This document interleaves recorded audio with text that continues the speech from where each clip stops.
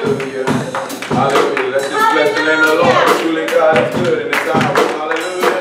Can you just praise him? Can you just praise him? Hallelujah. Oh, for, for his goodness. Hallelujah. Hallelujah. God is a good God. Hallelujah. And God is worthy to be praised in this hour. And we just come to magnify him. We just come to bless him. We just come to bless his holy name because truly God is worthy. Hallelujah. Hallelujah. We just want to go before God. Hallelujah. God, we thank you. God, we praise you. Hallelujah. Jesus. Jesus. My God. Hallelujah. God, you're worthy. God, you're worthy. Hallelujah. And Lord, I thank you, God. Thank you, God, for being mindful of each and every one of us, God. Lord, and we praise you, God, in this hour. Hallelujah. And God, I pray, God, Lord, like never before, God. God, that you send us a word, God. Yes, God. God, we need a word, God, for us right now, God. Yes, Lord. God, we need a word, God, that's going to build us up, God. A word that's going to strengthen us, God. Yes, Lord. God, a word that's going to encourage your people, God. Yes, Lord. God, help us, God, to know, God. God, you said your word, God. Lord, you're giving us, God, power Yes. over all powers of the enemy, God. Thank you, Jesus. And God, I pray, God, now, God. God, as I come before you, God, Lord, you will touch, God, you will move, oh God. Oh, Jesus. God, I pray you anoint, God, in this hour, God, anoint my lips of clay, God, to speak your word, God. God, I pray, God, that your word, God, will find, God. God, your word will find its way in each and every one heart, God. Yes. And God, let it find a resting place, God. Yes. Lord, for each and every one, God. God, we believe you for it. Yes, God, we believe you for it, God. Lord, in Jesus Christ, God, we thank God. God, we thank God. In Jesus Christ, we thank God. Yes, Lord. While we yet standing, I'm asking each and every one of you to turn with me to the book of Isaiah. Yes. Hallelujah. We thank God. Truly is a good, we thank God for God's goodness. We thank God for Him always coming to each and every one of our rescue. We just thank God. And we just thank God as it talks in Isaiah, the 48th chapter. We're going to read verse 1 through verse 10, and I just thank God. The Bible just says, Hear ye this, O house of Jacob, which are called by the name of Israel, and are come forth out of the waters of Judah, which swear by the name of the Lord, and make mention of the God of Israel, but not in truth, nor in righteousness. For they call themselves of the holy city, and stayed themselves upon the God of Israel. The Lord of hosts is his name. I have declared the former thing from the beginning, that they went forth out of my mouth, and I showed them, I did them suddenly, and they came to pass.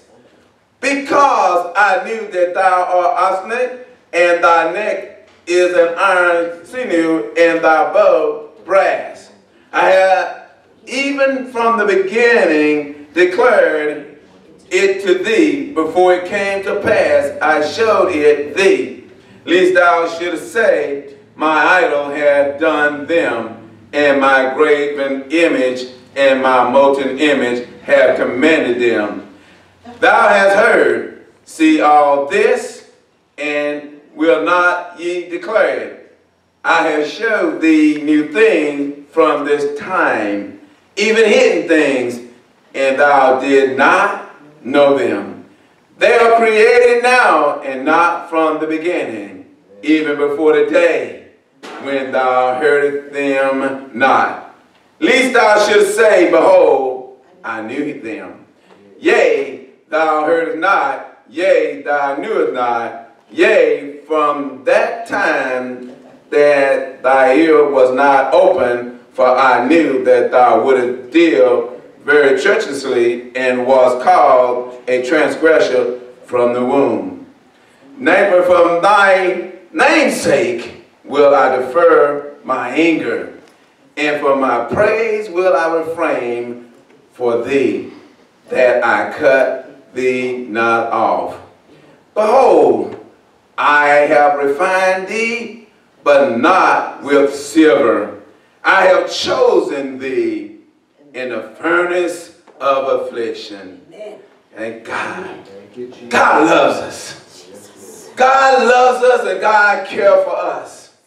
In the midst of it all, God has chosen us. Yes. The Bible said, He has chosen me. Yes. And you can be seated there. We look at the word of God, even in Israel. Come on. They had gotten comfortable. Yes, They had gotten comfortable and God doing so many great things for them. They had gotten comfortable with God providing for them. They got comfortable with having food on the table. They got comfortable with having a roof over their head. They got comfortable with clothes on their back. But one thing we got to remember that God has chosen us. And because God has chosen us, God has called for us to do a work for Him. Yes. And God didn't choose for us to get caught up in all the things that He's given us on this earth. On. God has chosen us to what would be found like never before, living according to His will and living according to His promises. Because the, the people of God had got stick-necked and the people of God had forgotten about what God has done. And, and they forgotten that they had been stubborn according to God's word. And, but God had and every one of us to be obedient to His word. And He called each and every one of us that He said in the word, the day you hear His voice, and harden not your heart. And, and God has called us to walk according to His statutes and His commandments. And the God, the word said here, God has chosen us. He has chosen thee in the furnace of affliction. Come on. And so many times we don't want to go through some things. We don't want to have to go through nothing, but God said in His peace, He's chosen us. In anxieties, He's chosen us. In the heartache and pain, He's chosen us. When it seems like we can't get a grasp on life, He has chosen us. God has chosen us that we would do the work that He put before us. Because we can see it in the children of Israel. That the Bible said they were using their name to identify with him. And the Bible go on and said, and not only that, it talk about, they talk about the holy city. And the holy city that they did not identify themselves with. Because of what the lifestyle that they were living. And that's how it is in this day and time. So many people want to call him Lord, Lord. And they don't want to do the thing that the Lord is requiring of them to do. You know, they call themselves just being religious. And, and so many times people get caught up and just doing what they want to do. But the Bible let them know they had became stiff neck. The neck, as it says in the fourth verse, thy neck is as an iron sinew, and thy bow is brass. And, and they had gotten to the point to where they had forgotten the God that had brought them out. They were willing, people so willing to stay in captivity. People so willing to stay right where they are. But God is calling us to a higher calling. God is calling us to a higher standard. And God did not want us to stay in that same place. And God requiring for us more prayer. And God requiring of us more, more of a presence. God requiring for us more of a relationship with Him and, and a new uh, state of mind and heart. And, and God did not want us to be the same. But the Bible said in the second verse, that they called themselves of the holy city and they stayed themselves upon a, a God of Israel, the Lord of hosts, is his name. So they was identified with a God that they didn't want to do what the Lord said, but God was calling them to a higher calling. Comfortable with it. So many times, you know, when God calls us to a place to what we're not comfortable with, we find ourselves, you know, contemplating. We find ourselves trying to rationalize it. We find ourselves trying to say, well, Lord, why me, God? And, and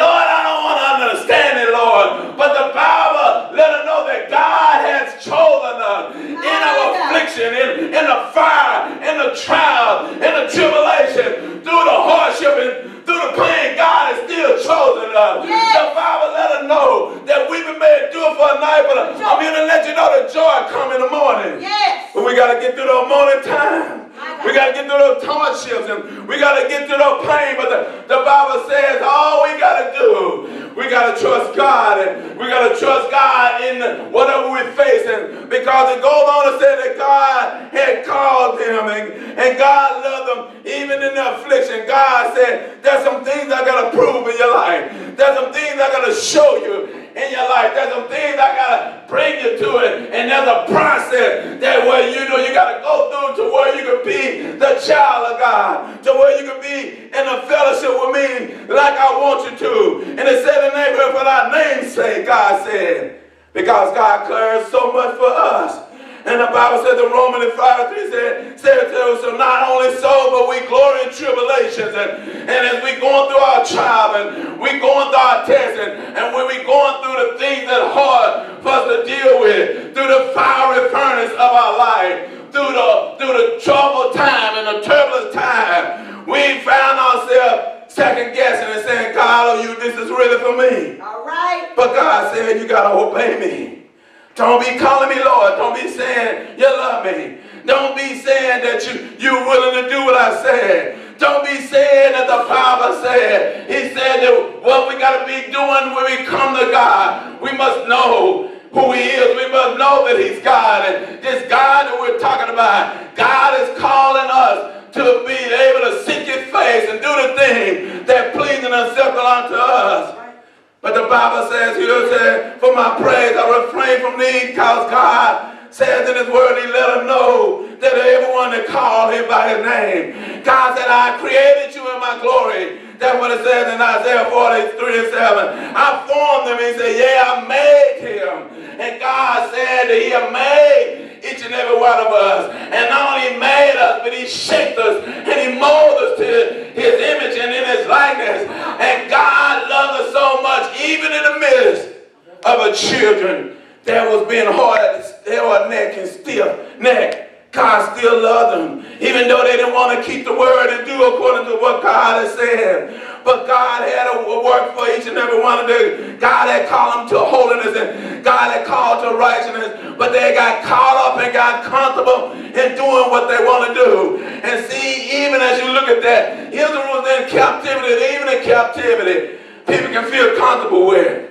But God don't want us to stay in that same place. God don't want us to stay in a place to where we can't worship him, to where we can't fulfill the work of the gospel. God wants us to move up higher. Yes. But the Bible says, he said, he said, God, he said, I will frame from thee and I will cut thee not off. That's what it says in the name verse. God said, I will not do it. And it says in Isaiah 43, 25, said, I, even I, am that that blotted out the transgression from my own my sake. He said, and will not remember our sins. And God said, I'm going to blot out your transgression. I'm not going to remember your sins, even though you've done all the things that you've done. He said, I've chosen you. And that's something that you got to go through to understand that I love you. And that's something you got to understand that, that when you're going through all the furnace of affliction, you got to still see God in it. When you go through the furnace of affliction, you got to, yeah, believe and praise the name of the Lord. When you're going through the pain and the suffering, and you're going through the setbacks, when you're going through the things that you don't understand, that Bible said, the,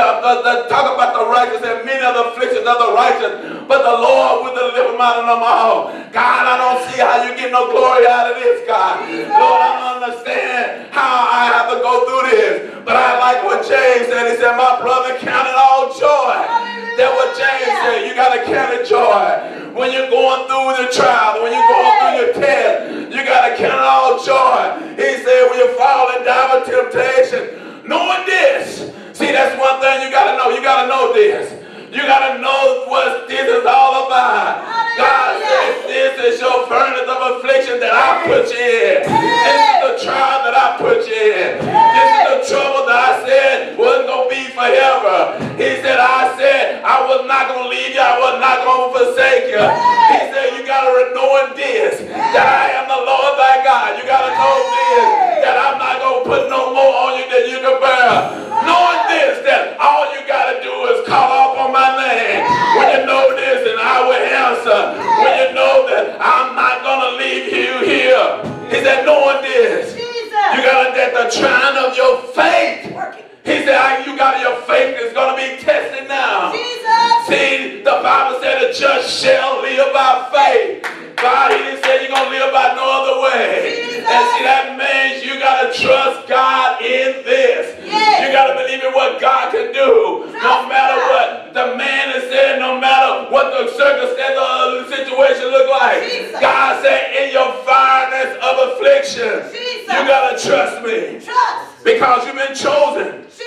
been chosen because you've been chosen in this. Hey. I'm going to be there right with you. He said, I've chosen you in the furnace of affliction. I didn't choose you when you was on the outside looking in, but in the midst of your furnace of affliction, I chose you. When you were going through it all, I was right there. In the nighttime, I was right there. The Bible said, be still and know that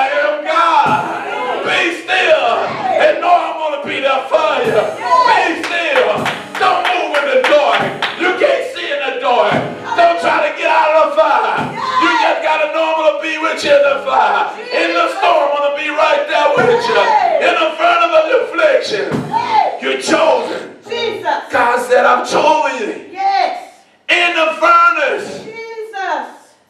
unlike man. Jesus. Man said something you must be undone wrong. My Lord. Why you going through this?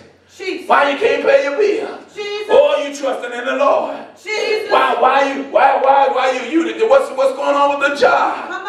I thought you were trusting in the Lord. Jesus. Every time I look around, you work on one of these jobs and you can't get that job. But I'm going to let you know God said, I've chosen you. Jesus. God said, I've chosen you to go through this. I've chosen you to go through this way. I've chosen you that you're going to have to do this this time right here. I've chosen you that I'm, you're going to be proven. You're going to be tried in the fire. And I'm going to let you know something got to take place in the. Hallelujah. Something got to take place in the midst. Know what needs to happen to our eyes got to be open. Our hearts got to be able to receive what God has for us. Hey. And James said, knowing this, the trying of your faith working patience. Yes. Oh, God said, I got to get some patience into your spirit. Hallelujah. I got to get you where you can trust me in Yes. this. Hallelujah. I got to get you where you can believe me in this. I know I got to get you where you need to be. Oh, God, but I know you, Lord. God said, no, no, no. He said, one thing you got to know, God knows the heart. See, that's the thing about it. God knows our heart. God knows everything that we're going through. The Bible said for the heaven above the earth, God knows our thought from afar off. He said, you need some patience. Hallelujah. See, I got to work out some patience in you. Yes. And it said, but let patience have her perfect word. Jesus. Perfect word. See, you got to go through some things. Thank you, Lord. Then there got to be that process got to take place. Transformation got to take place. The Bible said you got to be transformed by the renewing of your mind. It's going to take a process. Jesus. See, I heard a story about the man wanted to make sure that, it, that his crop grow a little bit earlier. Jesus. So what he had to do, he said, well, I'm going to ease it up a little bit. I'm going to I'm going to move up some of the stocks a little bit higher Jesus. so they can get they can develop themselves a little bit quicker. My God. I don't like the height that they're at right now. Jesus. I don't want my crop to go through that process. Jesus. So I'm going to move them up a little higher every day Come on. so they can get higher to where they can get to the stage that I want them to be at. My Lord. But I'm here to let you know because he started fooling around with the process. Come on. The crop that he had ended up dying. The crop that he had didn't make it. I'm here to let you know we got to be willing to go through. Yes. We got to be willing to know that God has chosen us. Jesus. Even in the trial and the test, we got to yet look to God. Yes. We yet got to believe in God. And God is working it all out for our good. And the Bible just said, he said that the perfect, Yes. patience, perfect work, Yes. patience, My perfect work, that we may be perfect. Jesus. God said he got to make sure that we're perfect in this thing. God got to make sure that we're entire in this life that we live in for him. The Bible said there's a wholeness got to take place in our lives. You know, entire transformation. You know, we got to make sure that we love God in this, and that we trust God in this, and- and we know when everything is going good. It's easy to say we love the Lord. When everything going our way, it's easy say we love the Lord. But when things don't go our way, can you yet trust the Lord? Can you yet believe in Him? Can you believe what the Bible said? I was chosen, as Isaiah said. You know, I was chosen. That's one thing we got to know as a people of God. We've been chosen to live this life. We've been chosen to go through what we're facing. And, and we can't get caught up in the comfortability of the world. We can't get caught up to where we, we lose sight of what God has in store for us because that greater, that's higher height and deeper depth for each and every one of us. Yes. In a furnace. See, only time people like furnace when they want to get warm, but nobody want to be in the midst of it. Mm. Nobody want to be in the midst of fire. Nobody want to be, be able to go through, Lord, I don't want it. But the Bible said the chosen. My God. You're chosen to this. You, you're going to be my servant in this. You're going to be the one that call on my name. You're going to be the one that I'm going to answer in this. You're going to be the one that people are going to be glorified because of the life that you live. You're going to be the one because of the furnace of affliction that you endure, not the one that you got out of. But see, because God has it for each and every one of us, He got to purify things in our life. Jesus. The purifying process has to take place. And it won't take place till the Lord says so. It won't take place till God says you're in time, you're complete, you'll be made whole. Jesus. Knowing that the, the patient have in time, Yes. wanting nothing. My Lord. God said we can't want nothing. Hallelujah. God said turn to me, turn to me, trust in me. Yes. Trust me with this. Jesus. Don't complain. Don't say, Lord, Lord, Lord. Jesus.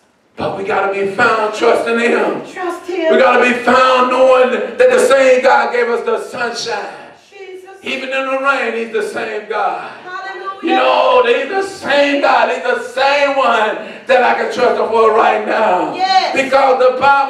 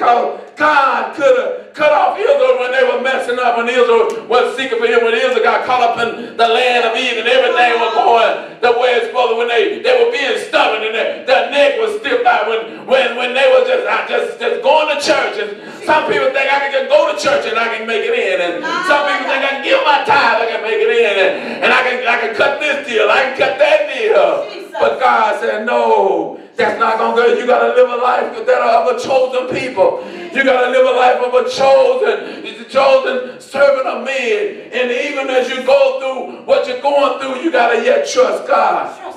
He says here that he said, I would defer my anger. See, God, see, so many times God could have got angry at us. God could have got upset with us because of the life that we live and some of the things that we've done. But he said, I'm going to defer that thing. I'm going to make sure it's not going to come to you. I'm going to make sure my anger not going to come on you because, see, this is the thing about the Bible says a terrible thing to fall into in a wrath of a angry God. And don't you know that if God anger was to get a hold to us, we would make it. Jesus. But the Bible said here, he said, but now with silver. He said, I've chosen thee in the furnace of the affliction. God said, there's great things I got in store for you. Yes. I got great things in store for you. Because something we got to understand that God loves us so much. Yes. See, he was the Redeemer. He was the Holy One of Israel. That's the thing that, that we got to know. He was the Redeemer. He was the Holy One of Israel. And God wants us to live like who He is. And God don't want us to get caught up. You know, and God is the one that teaches us how to profit. God is the one that teaches us how to live according to His will. Yes. And the Bible said that they that know that God will be strong and do exploits. And God wants us to do great and mighty works. He wants us to live an invisible life. But because Israel had turned away, because Israel had gotten comfortable and Israel wanted to do their own thing, God had to defer his anger. Jesus. Because if God's anger would have got hold to the people that was disobedient, Just like us, if God anger would have got hold to us when we were not doing what he had said in his word, God would have destroyed us. But God loves us so much, and God said to his people, I got to put you in the furnace. I, you know, even in affliction, I got to get you purified. I got to get you to where you love me, to where you trust me. Yes. And to where you, your soul out to serve me, to where your soul out to live a life that pleases acceptable unto me. And I don't care who, who say it, who do, you're going to yet trust God and you're going to continue to go forward and, and live this life according to every word that proceeds out of the mouth of God. The Bible let us know here, God, has, he loves each and every one of us that, that, that keeps his word. Yes. You know, that he do according to what he's saying. Yes. But he's I've chosen thee. For the 11th verse said, for my own sake. Jesus. The Bible said, for my own sake. For even my sake. God let us know he has chosen us. And he loves us. And God wants us to be prepared. And God wants us to be able to do a work. God wants to be able to do a greater work. And he was call on Israel to God to do a work, but to do a greater work and go forward. And, and that's what God required us to do. So when God is going through, God don't want us to be using his identity. God don't want us to be just calling upon his name and, and we have no relationship with him. Right. We have no fellowship with him. But God wants us to be people to call his name yes. consistently yes. each and every day. My Lord. And the Bible goes on to let us know. In the Romans in 5 and 3 it said, and not only so, but we glory in tribulations also knowing that tribulations, come on, tribulations, yes, working patience. Right. Lord, give me the strength. strength. Give me the strength that I need, God, to know that this too shall pass, God. Yes. Give me the strength, God, to know, God, Lord, at this time, this moment, God, you told me I can yet praise you. I can yet glorify you, God, for it, God. Lord, I can yet have a mind to, to seek your face, God. Lord, I know you're coming back for people that seek your face, God, each and every day. God, help me to know, God. God, I was chosen to live this life. I was chosen to love you, God, with all my heart, soul, and strength. Right. I was chosen, God, no matter what the circumstances look like, or uh, whatever I'm facing, God. Lord, to know, God, that you love me, God. And Lord, if you gave me this opportunity to serve you, God, no matter what I am, God, Lord, I got to serve you, God. Lord, I got to glorify you, God, because you are the Holy One. You're the Redeemer, God. Lord, you're the one that had called me out of darkness into the marvelous light. And Lord, you saw me, God. Lord, when I didn't even know myself, when I was confused, and when I was in the world, and I was being, I was getting ready to, to be taken out by the, the wicked one, God.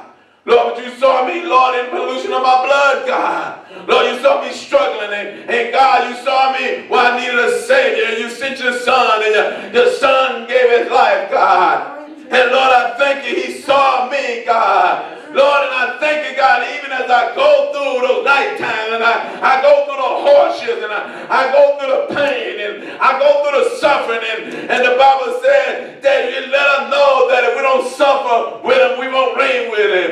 Even as I go through things that I don't understand, God, but it's for your glory, God. Help me to go through for your glory. Help me to go through so I can tell the story of the God that brought me out. Help me to go through that I can give me a, a witness for that one, God. And, and trapped by the enemy, God. Lord, if I go through the affliction, God. Lord, I know, God, it's only for a moment, God. Lord, you said that my light affliction is only for a moment, God. Lord, but I know it's for your glory, God. Lord, because you're going to bring me out, God.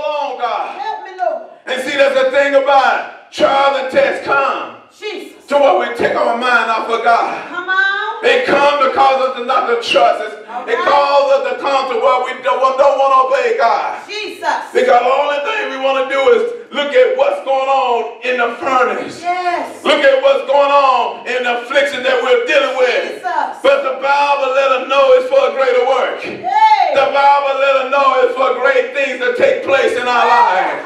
See, I don't know, and, and but yet still I know God knows, and Yes. because He knows, I gotta trust Him for it. Because the Bible said, "How is it that you can get some glory in this? How is it that you can you can this thing is for my good when it's so bad?" But I'm here to let you know, God said, "I was chosen thee." Jesus. And because I chose you, I'm not like man. See, man got to see you in another way, but God sees us as we are.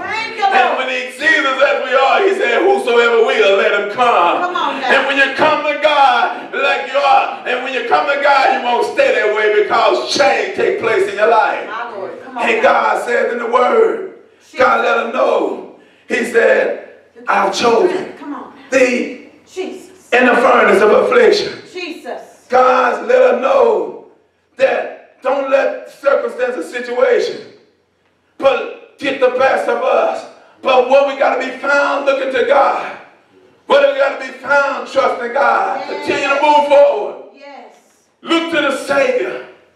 Look to the hill where your help is going to come from and your help only going to come from. Yes. Don't trust in everything Come else on, come on. that you're hearing. Don't trust in the moment because this moment is only just a moment. Jesus. But so many times people let the moment get the best of them. That's why so many people are incarcerated. And that's why so many people get caught up in drugs and alcohol and, and all kind of things of the world because they get caught up in that moment.